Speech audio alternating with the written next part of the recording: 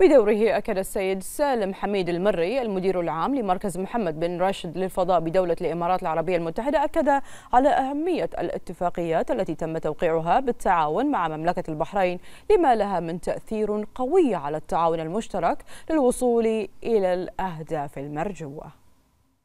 اليوم نحن سعيدين جدا بالتواجد هنا في معرض الطيران الدولي في البحرين لتوقيع اتفاقيتين بالنسبة لنا جدا جدا مهمات.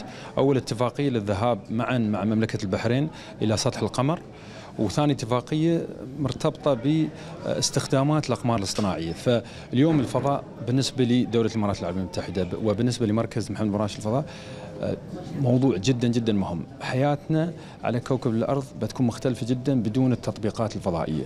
فمثل هذه الاتفاقيات مهمة من ناحية التعاون الدولي والعمل المشترك بين الدول الخليجية للوصول إلى أهداف كبيرة.